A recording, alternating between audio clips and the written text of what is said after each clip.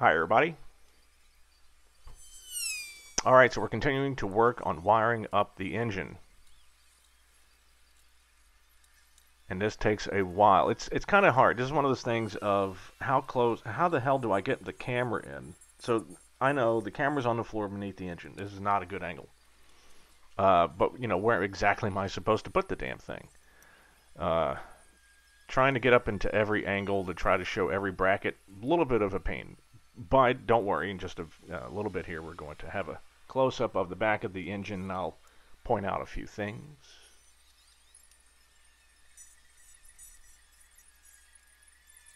Uh, let's see. Happy New Year, first of all.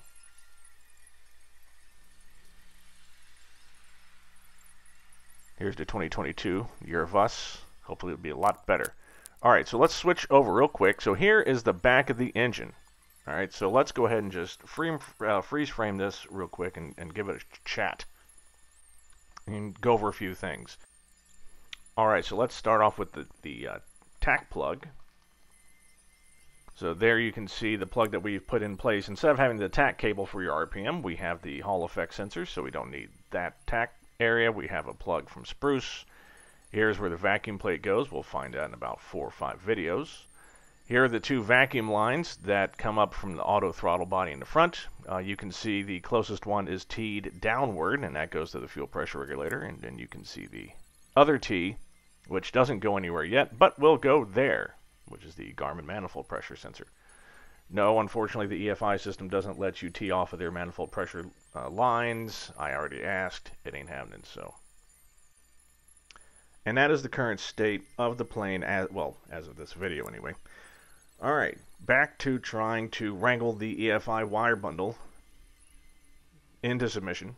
Uh, that'll be the very last thing that we technically, or that'll be the very last bundle that we work on. Uh, what we are working on this video is making the bundle for all of the pressure and manifold and fuel sensors and oil sensors. Uh, I thought I'd already done this, but I have not. Uh, there were two connectors into the back of the engine analyzer, and in the uh, couple videos ago, you saw me working on getting all of the EGT, exhaust gas temperature and cylinder head temperature lines plugged in, and I thought that was the last bundle. I was uh, I was wrong. Uh, I, we still have to do this bundle. So this is the connector that has, let's see, it's got the manifold pressure sensor, it's got the oil pressure sensor. I believe it has oil temperature sensor. It also has the fuel pressure sensor. What else? I think it also has, I think it also has tach and, no, that's not right. Tach and, tach, no? Is it tach and fuel flow? I don't know. It's got it's got something. It's got one of those things. Uh, no, no, I'm sorry. No, fuel flow winds up connecting somewhere else. Oh, hell if I know. All right, but that's what we're working on now. Uh, and it's just a bunch of three connector wires, right? And you've seen me work on this before. It's you know, strip the wire, isolate the shielding, put a uh, ground wire on the shielding with a very handy solder sleeve and then make sure to add some labels.